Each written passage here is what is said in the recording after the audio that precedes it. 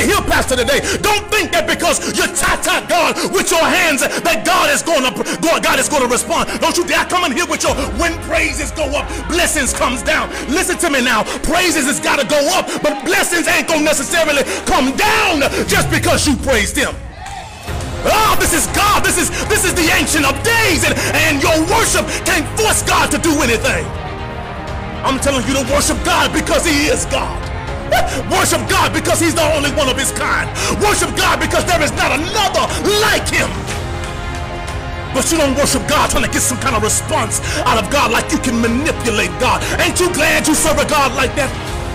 He's unmanipulable. Do you understand what I'm saying?